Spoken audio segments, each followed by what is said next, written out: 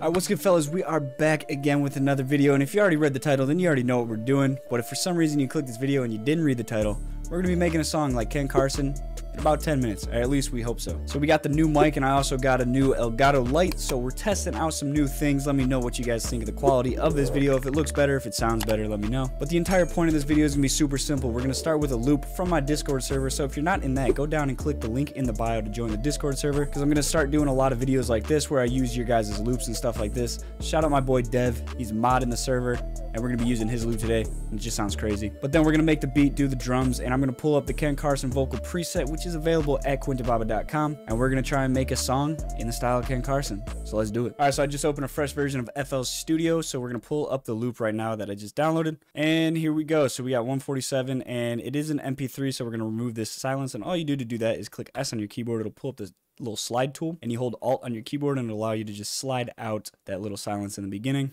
And we'll go to like right there. And now we're set up perfectly. We'll just set the BPM to 147. And we're going to put this on stretch. And then I'm going to bring it up to like 150. Do 152 for now. And then this is a pretty loud sample. So we're going to turn the volume down. And then we're just going to chop it up. All right, so I just chopped everything up. And we're just gonna bring it all to the front like this. Okay, so what we're gonna do is just route this to mixer track number one, and we're going to add a Fruity Parametric EQ. Oops, take that down. And we're just gonna put a low cut on there, just so when we add that 808, it doesn't clash with everything. We're gonna cut around like 120 hertz, that should be good. And let's just listen to what we got.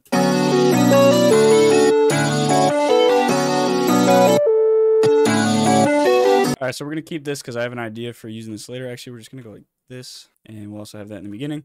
And then we're just going to loop this main part right here and add in the pattern. And we're just going to get started on the drums here. So it says it's in B minor. So so that's good to know just so when we do the 808, we know what notes we could put in. But I'm going to go over to my Cyber drum kit. And if you don't have that yet, you might as well go cop because it's like some of the best drums for Ken Carson, Yeat, like all that type of music. We're going to open the drum kit and we're going to grab a snare actually. All right, let's turn this up a little bit. I'm also going to bring the volume up here and we'll just do some pattern like this.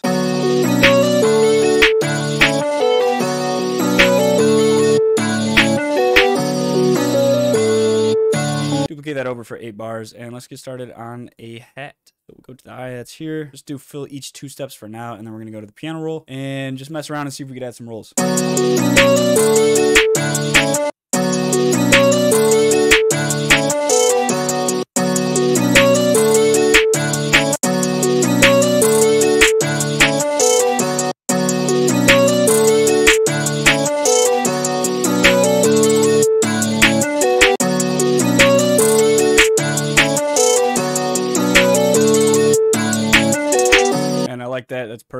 duplicate that over for eight bars. And then we're to get started on some open hats. So I'm looking for something long here so we could adjust the envelope settings and kind of make it sound more realistic. So I'm to bring this one in right here. Then we're to go to the envelope settings and set it just like this, just so it holds for how long you press the key for. For example, as soon as we let go, the sound stops. I also want to add something like this. Just turn it down a bit and pan it to the left.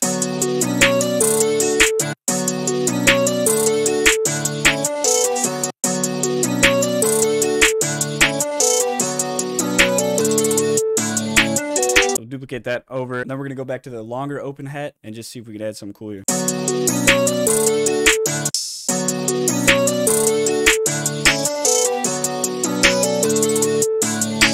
All right, so that's perfect. That's a good bounce. I like where we're going so far. And now we're just going to get an 808. And I'm thinking we're going to do two here. One like longer, like real dirty 808. And then one shorter, more like Zay style. I'm going to start with Church. Uh, we're just going to turn that up a little bit. And we're going to set the envelope settings just like this. Actually, we're going to reset that. Um, and then, like I said earlier, it's great that we know the samples in B minor because now we could go to the 808 piano roll right here, bring this drop down menu down, and we'll go to the view scale highlighting, and we'll set it to B minor. So now we know exactly where to put our notes, or we just have a better representation for where to go. So we're going to start at B, obviously. Bring this up a little bit.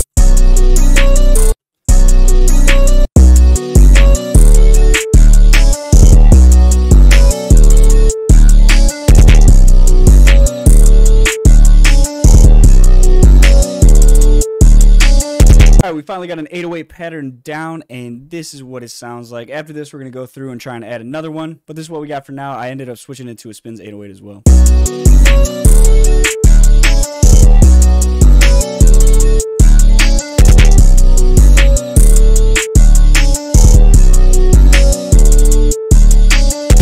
All right, so now we're going to clone this 808 and just grab something like... Alright, this one called Twizzy. We're to put it right here. Just duplicate it over, see how it sounds.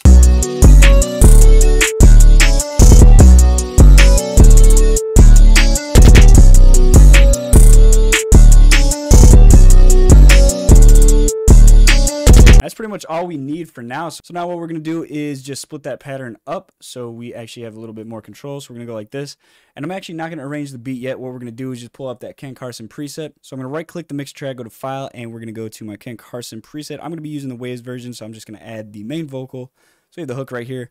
And when I made this preset, this style just did not have any reverb on it. So I'm going to show you guys how you actually bust out reverbs. So you're going to click your main track where you want the reverb and we're going to do a reverb right here and a delay.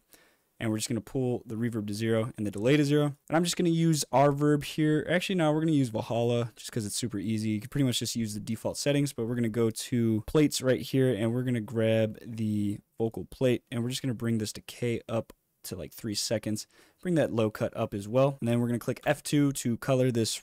Let's go with red, set that, and we're going to call this verb. Then I'm to add the H delay here. And for now, we're just to go to, we're to bring the feedback down, bring the high pass up a bit. And we're to put this to a one-fourth step. And we might as well ping pong it. And then I just like turning this analog sound off because there's just no point for it. Then we're to bring the reverb up a bit and the delay up a bit as well. Let's also rename and color the delay. Make it yellow and call it delay. There we go. So now I'm going to show you guys what it sounds like when you actually enable this live. And we're just going to freestyle some hooks and stuff and see if we can get a song going. Also, if you have the new FL Studio, a huge feature in this is if you right click and go to, uh, where is it? assigned to new audio track. What this does is it assigns it right here. So now you could put your input on and then you're going to be able to hear yourself. So now we can hear ourselves with the Ken Carson vocal preset. Let's turn the delay off and stuff. Bring this NS1 up a little bit. And we also have to set the auto tune to B minor. And now let's see if we can get some little freestyles going. Yeah. Yeah, yeah. Yeah. I said, yeah. You can't stop us. You can't stop the way we moving, cause that's bad luck. You can't stop all these feelings that you have for us. I just, I just put up with it. I just put up with a stick in my bag. Yeah. I said, yeah, you can't stop us. You can't stop the way we moving, cause that's bad luck. You can't stop all these feelings that you have for us. You can fake it, you can hide it, but it's real love. Alright, so now what I'm gonna do is right click, go to file, save mix track site as, and we're gonna duplicate that over and just make an ad loop track here. So what I'm gonna do is increase the chorus and we're gonna make sure we click this button here. We're gonna have a bunch of reverb on this, a bunch of delay. Then we're gonna kind of just shape this like that and then we're also going to go to file or assign new audio tracks. And then you just click F2, all this ad libs, boom. Yeah, yeah, I said yeah. You can't stop us. You can't stop the way we moving, cause that's bad love. You can't stop all these feelings that you have for us. You can fake it, you can hide it, but it's real love.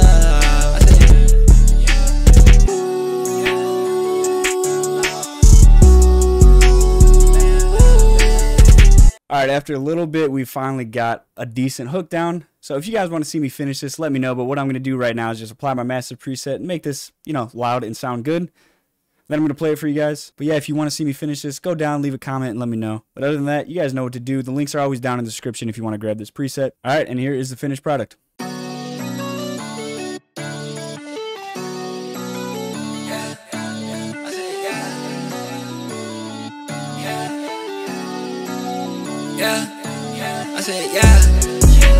Stop us. You can't stop the way we